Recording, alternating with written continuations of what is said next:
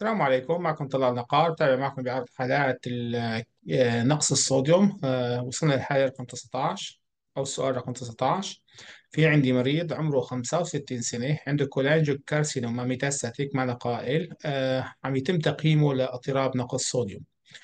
بالنسبة لل cholangiocarcinoma مشخصة من سنة تقريبا أخذ خمس أشواط من العلاج الكيماوي كان مؤلفة من ال cisplatin وال gemcitabine من شهر تقريبا كان آخر جرعة أخذها.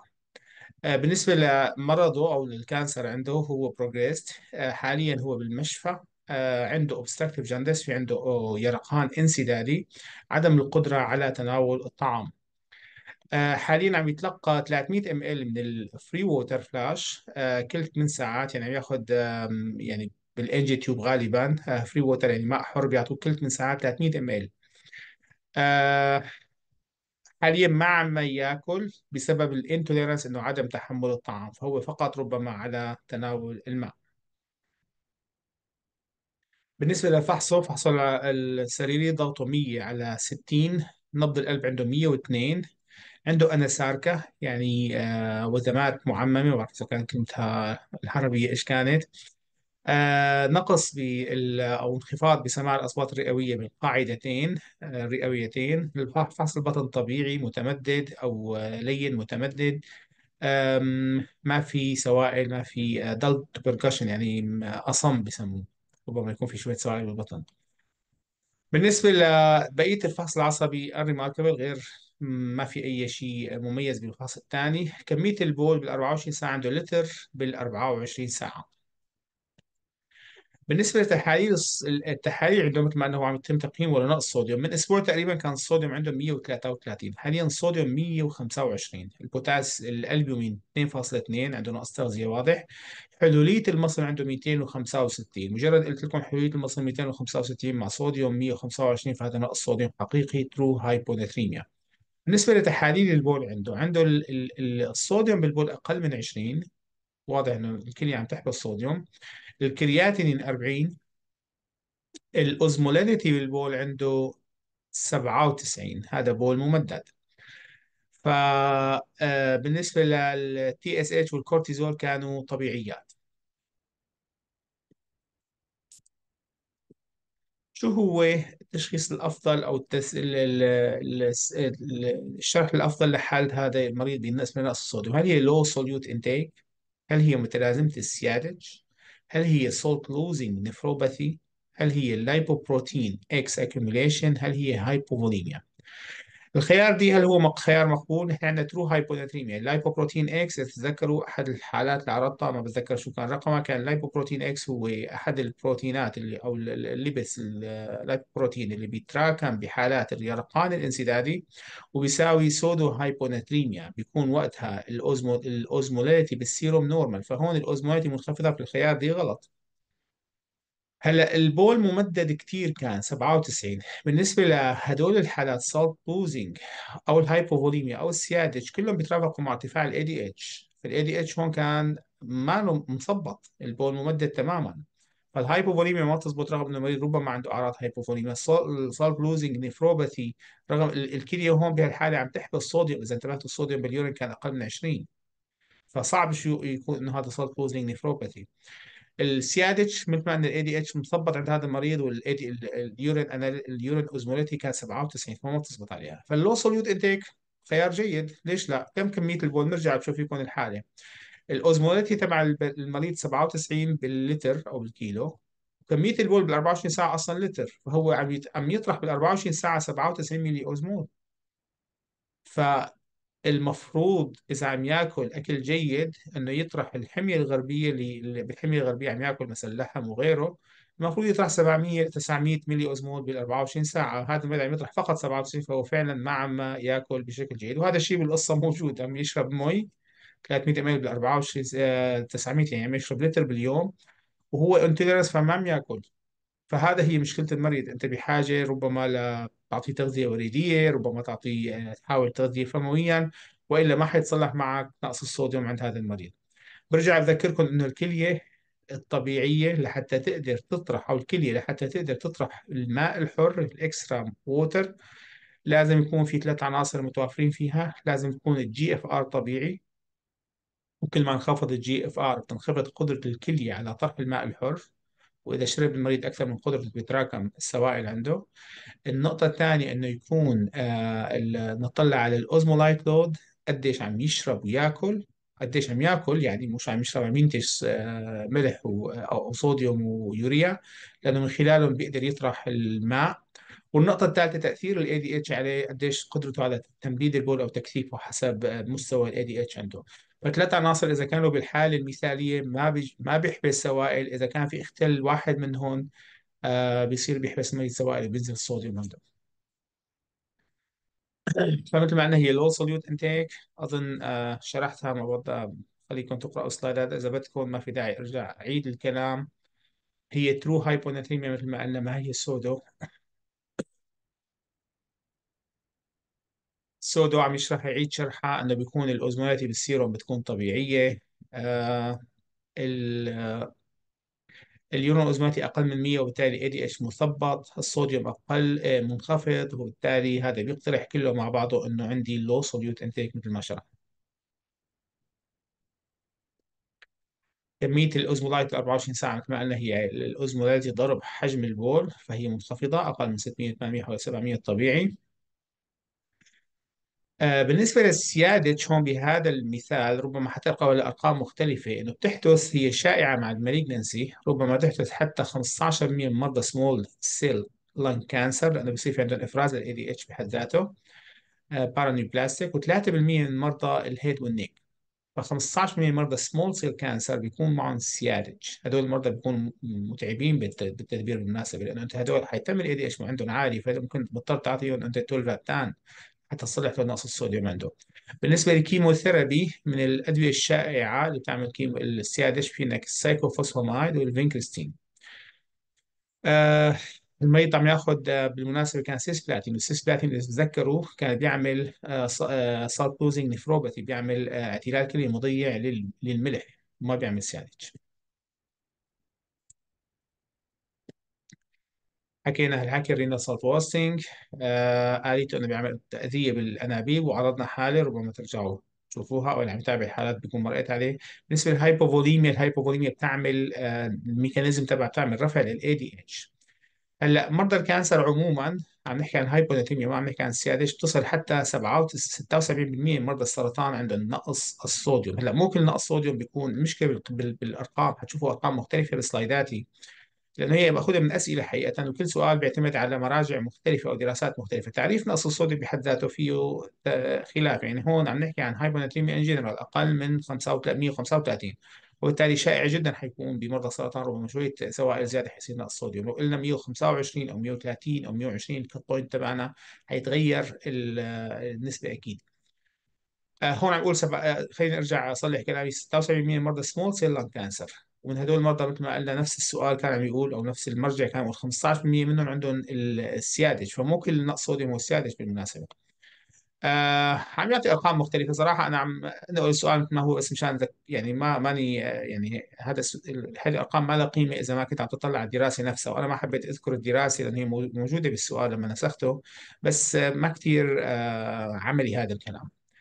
آه، ما بيعلم يعني بمعنى آه، بالنسبة للس- لل- لل- لل hyponatremia بحد ذاتها تترافق مع زيادة ال mortality تترافق مع زيادة نسبة السقوط السقوط المتكرر. إذا بيجيك مسن على عيادتك وعنده سقوط متكرر check الصوديوم عنده ربما يكون هو سبب هذا نقص الصوديوم.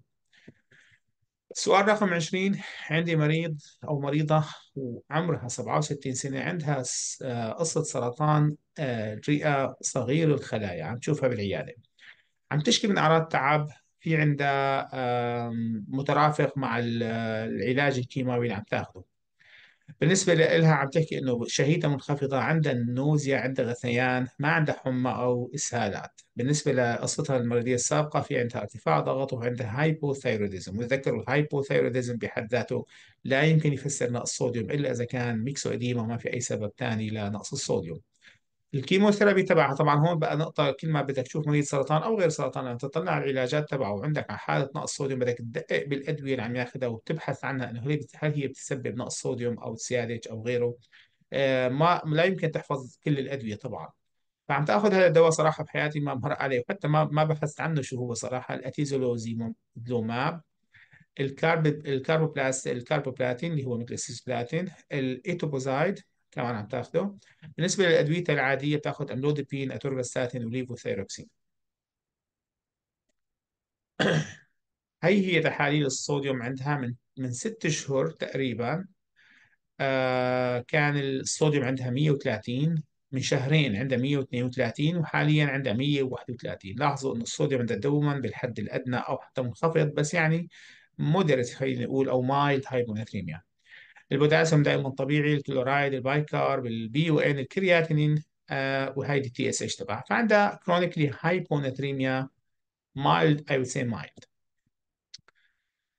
السؤال هون ربما سؤال تثقيفي ما هو الاختلاط الأشيع اللي ممكن أو اللي أكثر نسبة أنه يحدث عند هي المريضة بسبب ال hyponatremia هل هذا بيزيد من ال mortality تبع السرطان ال cancer اللي عندها؟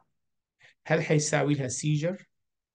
هل حيساوي لها intestinal dysmotility اضطراب بحركة الأمعاء؟ هل حيساوي لها symptomatic hypothyroidism؟ هل حيساوي لها زيادة بنسبة حدوث ال hip fractures؟ أظن هذا الشيء آه، شرحناه عدة مرات أو بالمحاضرات النظرية وحتى بالأسئلة العملية وربما بالسؤال السابق كل هدول نحن نحكي عن مايلد هايبوناتريميا سيجر وسي ودي كلهم هدول مو ظابطات صراحة النقاش إنه هل هي ال hyponatremia هو independent independent factor بحد ذاته risk factor to increase mortality يعني إذا مريض سرطان الصوديوم عنده نازل بحد ذاته ومقارنة بمريض سرطان الصوديوم عنده ما نازل هل ال mortality أعلى عند مرضى الصوديوم النازل؟ هذا ال debate مقابل ال hip fracture اللي هي ربما أكثر وضوحا أنه مرضى نقص الصوديوم عندهم زيادة بحدوث السقوط وال osteoporosis والكسور حتى فالخيار الصح هو الخيار إي حقيقة؟ بالنسبة لل mortality هون عم طبعا آه طبعا مثل ما الجواب هو ال hip fracture. هلأ هون عم يرجع يشرح ال hyponatremia مع السرطان وعم يقول لك إنه هي شائعة بمرضى السرطان وإنه الدراسات متضاربة عن إنه هل هي independent or dependent risk factor for hyponatremia. آه ما حأرج أقرأ كل السلايد خليكم إذا بتحبوا تقرأوا أعطيكم وقت تثبتوا السلايد وتقرأوا. اذا في تعليق إضافي إنه بيزيد نسبة ال osteoporosis هو independent بالنسبة للكسور. آه هي الدراسة اللي ذكرها ما ذكرت شو هي الدراسة بحد ذاتها بس يعني عم يعطيك إنه نسبة حدوث ال osteoporosis كانت أعلى ب 2.25 مرة مرتين وربع تقريبا قياسا بمرضى ال normal صوديوم الصوديوم تبعهم eunatremia هلأ عم يناقش يعني عم يعيد كل ال... يعني هو عم يجمع كل الدراسات. مرة ثانية ما حبيت أذكر المراجع هي ما هي محاضرة تثقيفية عن ال hyponatremia والكسور بس هذا الشيء ممكن ترجعوا له إذا بتحبوا. وتعملوا محاضرة عن هالموضوع بالذات وتثبتوا إنه فعلا آه، بالدراسات إنه نقص الصوديوم يترافق مع زيادة نسبة الكسور. هلأ بالنسبة لل cancer هون عم يحكي إنه الدراسات متضاربة حقيقة، في دراسات أثبتت إنه زيادة الوفيات as independent risk factor uh, independent يعني عامل مستقل والوحدة الثانية قالت لأنه هو dependent ما كان في فرق. فلذلك أنا يعني لذلك الجواب ما بتقدر تقول بثقة إنه دوما إنه نقص الصوديوم بيترافق مع زيادة الوفيات في مرضى السرطان آه هي إعادة الدراسة small versus non-small. فالرابط أقوى بين ال mortality بين ال hyponatremia وال fractures والكسور. السؤال الأخير بهي الجلسة في عندي مريض عمره 47 سنة آه عنده هو heavy drinker هو بيشرب كحول زيادة وعنده liver آه dysfunction عنده اضطراب بالكبد أو عنده وظي... آه آه يعني أذية بالكبد غالبا بسبب الكحولية حاليا لمدة خمس سنوات. هلأ هو بيشرب حوالي 10 آه قناني بيرة باليوم. آه، يعيش وحيدا آه، بظروف سيئة. العائلة هي اللي جابته على العيادة. ربما أحد قرايبه إجا شافه أنه بوضع ما هو جيد. في عنده gait instability في عنده اضطراب بالمشية بالنسبة لفحصه ال Glasgow coma scale تبعه 15 ضغطه 120 على 60 آه، نبضه 70 عدد مرات تنفس 14 saturation 98 والحرارة 36 ونص وزنه 60 كيلو أو 59 كيلو في عنده يرقان بالملتحمة. فمريض آه، كحولي عم يشرب كتير عنده liver dysfunction وحاليا في عنده أعراض لنقص الصوديوم ال gait instability طبعا بدون ما أعرف التحاليل حقول إنه هو نقص صوديوم لأني عم أحكي محاضرة الصوديوم ولأنه غالبا هذا هو الاضطراب اللي بيصير عند هدول المرضى. هلا بتحاليل الدم عنده إذا بتشوفوا التحاليل ال ال البروتين عنده 6.3 الألبومين نازل شوي 3 ال BUN 6 الكرياتينين 0.5 لاحظوا انه وزنه كان 59 هدول ما بينجوا كرياتينين ابدا فهذا الرقم بيخدع على فكرة. ال uric acid 5.5 الصوديوم 120 البوتاسيوم 2.8 كلاهما منخفضين كلورايد 70 الجلوكوز سكر 80 وال osmolarity عنده 260 فهذا true hyponatremia أنا راسا طلعت الصوديوم 120 ال osmolarity بال serum 260 فهو true hyponatremia هلأ لما بنيجي على تحاليل البول طبعا أكيد صرت لازم بروتين تطلع على صوديوم البول على بوتاسيوم البول مشان تعرف شو الوضع. قارن الصوديوم مجموعا مع صوديوم المصل لاحظوا إنه صوديوم البول وبوتاسيوم البول منخفضين وهذا بيتناسب مع مرضى ال- التشمع مرضى الكبد لأنه الكبد أو الكلية بهذيك الحالات بتحس أو بتشعر بأنه نقص بالحجم الفعال وبالتالي بتحبس الصوديوم. هذا هو مشكلة هذول المرضى هلأ ال osmolarity تبع ال urine كان 100 وهذا بيقول لك انه البول ممدد. معناتها ما في إفراز لل ADH فمريض تشمع هون بهالحالة في سبب آه لنقص الصوديوم عنده. ما بيتناسب مع الحالة النموذجية إنه مرضى التشمع بيكون في عندهم نقص بال بال بال بال, بال بال- بالحجم وبالتالي بصير يعني نقص حجم فعال وبالتالي بصير عنده تفعيل ال ADH فهون هن شخصوا له لا هذا ما هو ال hyponatremia تبعه مو هو سبب تشمع الكبد وإنه سببها ال B ال beer potomania اللي هي شرب ال- الكحول مع نقص ال osmolyte نقص نقص التغذية بمعنى آخر. شرب سوائل زيادة منخفضة التوتر الحلولي اللي هي التشخيص الثاني اللي هي النمط الثاني ال- يعني الحالة الثانية اللي بتشبه مين؟ بتشبه ال tea and toast المتلازمة الشاي والبسكويت بمعنى آخر. فهنا شخصوا له بير بو 8 آه بعد 24 ساعة آه بلشوا يصلحوا له طبعا يعوضوا له. ما بعرف شو عوضوا له بالضبط. غذوه مثلا أو غيره. بعد 24 ساعة ال serum sodium تبعه نط أو ارتفع حتى 132 بوتاسيوم كان 2.8 now حاليا 3.1 وما في عنده آه أعراض ثانية المريض بعده مثل ما هو. فشو برأيكم أنا لازم أعمل بهذا المريض؟ هلأ في واحد من الخيارات هو ال next step الأفضل إجاك أنت عم تتابع التحاليل ثاني يوم وشفت إنه هيك صار تحاليل الصوديوم 131 وال أو 132 والبوتاسيوم 3.1 هل أنت بتكمل المعالجة الحالية حتى يصل الصوديوم ل 135 هل أنت بتكمل المعالجة الحالية حتى تروح أعراض المريض؟ هل أنت بتزيد من تعويض البوتاسيوم لأنه هو لساته البوتاسيوم عنده نازل يعني 3.1 بتعوض لها كمان هل أنت بتوقف العلاج الحالي وبتراقب المريض بشكل حذر؟ هل أنت بتوقف العلاج الحالي وبتنزل الصوديوم بإعطاء ال dextrose water تعطي يعني D 5 water مع ال desmopressin اللي حضر محاضرة الاضطرابات العصبية أو الأعراض أو الاختلاطات العصبية لنقص الصوديوم وتعويض الصوديوم لازم يعرف الجواب. نرجع لل... لل... للإجابة. الصوديوم كان 120 وصار 132 خلال 24 ساعة عند مريض تشمع ومريض كبد كحولي ومريض كحولي رقم واحد ومريض آه... اضطراب كبد أو أو liver dysfunction أو تشمع غالبا تشمع. ف 132 ناقص 120 هدول 12 هذا أعلى بكثير من الحد المطلوب. تذكروا قديش الحد المطلوب بهدول المرضى. نحن عموما نسمح بالصوديوم حتى 8 تعويض ب 24 ساعة والمرضى عاليي الخطورة لل ODS اللي هو هذا المريض لأنه هو كحولي لأنه هو liver dysfunction لأنه عنده نقص بوتاسيوم كلها هي عوامل خطوره لل ODS هدول المرضى ما لازم يطلع أكثر من ستة. فهذا الصوديوم كان 132 هلأ كان 120 صار 132 خلال 24 ساعة لازم أنا انزله أرجع انزله وإلا بيتأذى الدماغ بعد أربع خمس أيام وما عاد في ولات ساعة مندم وقتها فأنا هذا المريض لازم انزله الصوديوم عنده من 132 لل 126 كيف بنزله؟ بعطيه D 5 water. بالكم من تجربة شخصية أو من خبرة شخصية ربما لأنه بيوم من الأيام كنا نعالج هدول المرضى بالع- بالعناية حقيقة. شو نعطيهم D 5 water؟ تعطيهم D 5 water؟ يعني آه، سيرومات من سيرومات سكرية. وما بتلحق لهم بيتم الصوديوم بيطلع عندهم لأنه كل ما أعطيتهم D 5 water زيادة هو free water حيطرح ال D 5 water بالبول حيطرح ال- ال- البول ممدد أكثر وأكثر فلا يكفي D 5 water بكثير من الحالات بهدول المرضى لازم تعطيهم معه desmopressin ال desmopressin بهالحاله هون بيقفل الكلية بيمنع من طرح الماء الحر وأنت هون بتتحكم بالصوديوم بال D 5 water على كيف؟ فال desmopressin بتعطي كل ست ساعات مثلا 2 ماي 2 مايكروجرام أو 4 مايكروجرام أحيانا بتضطر لحتى ينزل ال urine output تبع المريض وتقدر تتحكم بتحاليل الصوديوم المتتابعة كل ساعتين قديش الصوديوم. فهذا المريض لازم ينزل الصوديوم من 132 لل 126 تحسبها بالقاعده بتعتمد على total body water 132 ناقص 126 وبتعرف القاعدة ربما نفس قاعدة تعويض فرط الصوديوم.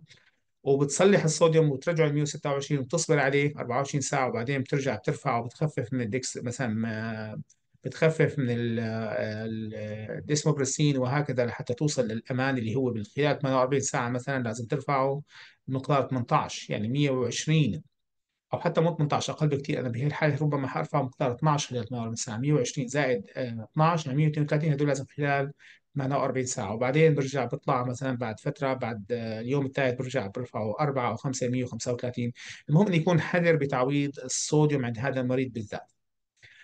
فالجواب الصح هو أكيد مو إنه يكمل العلاج الحالي المريض تحت خطورة الاو دي اس كمان إنه الأعراض ما هو بالعكس أنا هون أنا ال ODS ممكن يصير بعد أربع خمس أيام. البوتاسيوم كثير خطير تعويضه بهدول المرضى لأنه تعويض البوتاسيوم هو الوجه الآخر للصوديوم. كل ما عوض بوتاسيوم الصوديوم حيطلع لأنه البوتاسيوم حيروح داخل الخلايا والصوديوم حيطلع من داخل الخلايا. لخارج الخلايا وحيكون خطير. وقف العلاجات وراقب أكيد ما كافي لأنه أنا صار عندي already التعويض آه كثيف. فهذا هو الحل. مثل ما قلنا خليني آه وقف على سلايدات مشان أنتم إذا بدكم توقفوا تقرأوها. آه خطورة المريض malnutrition liver dysfunction ال hypokalemia كلها وال severe وال very low hyponatremia ما كان عندنا 115 أو 100 و آه، يعني هو العامل الثاني إذا كان severe hyponatremia هذا من عوامل الخطوره لل ODS عم نعيد عليكم. بهذا المريض أنا ما برفع 8 برفع 4 ل 6